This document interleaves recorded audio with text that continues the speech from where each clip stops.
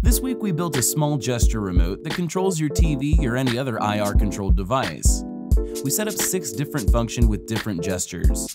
Waving left or right lets you swap between different channels. Waving up and down controls the volume. Moving your hand closer to the sensor mutes the TV, and moving your hand away from the sensor turns your TV on and off. The gesture remote has four main components. An APDS9960 sensor. We also used an infrared LED to transmit IR codes to our TV. An Arduino Pro Mini 3.3V microcontroller to control the IR LED and the sensor. And a 3.7 volt lithium polymer battery to power the whole circuit. We designed the circuit using Circuito.io. After dragging the components onto the breadboard, we got a full list of components and wired the circuit according to the wiring instructions.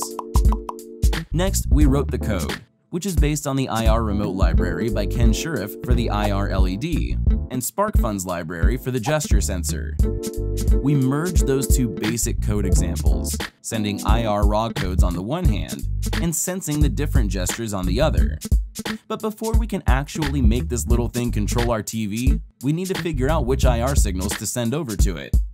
To do that, we wired an IR receiver to another Arduino using Circuito.io and uploaded the IR receive dump code example from the IR remote library. By opening the serial monitor on the Arduino IDE and clicking on the original TV remote buttons, we can determine which IR codes are used for each remote function. We clicked all the remote buttons that we wanted to use and copied the data aside. We renamed each array to its actual function name and got rid of all the parts we don't need.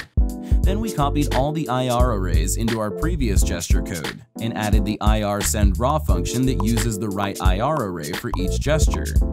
For example, when sensing the up direction gesture, it sends the IR code of vol up and so on.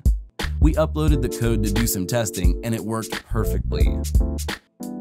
Another issue we dealt with in this project was the power consumption.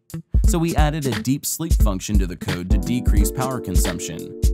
This means that the Arduino actually sleeps unless the gesture sensor receives a signal that wakes up the Arduino through its interrupt pin. Only then the Arduino will perform its tasks of deciphering the different gestures and sending the IR signals through the IR LED. To make the circuit smaller, we replaced the breadboard with a soldered circuit. We used the exact wiring from Circuito.io, but this time we soldered the components directly to the Arduino. We also used a prototype PCB to connect the different ground and power lines, and for soldering the IR LED transistor and resistor. We added a battery plug and two headers that allows us to connect the IR LED easily. Finally, we added a cool tweak to save even more battery power. We soldered a tilt switch between the battery ground line and the Arduino, meaning that you can flip the circuit to cut the power supply for the Arduino, similar to a power switch but without the switch. To pack this whole circuit into a nice, small enclosure, we measured all the components and modeled a 3D plastic case that would hold all the components in place. We printed the case, screwed the gesture sensor, mounted the LED into its hole, screwed the PCB, slid the battery to the case cover, and screwed the cover to the case. And that's it! The remote was ready!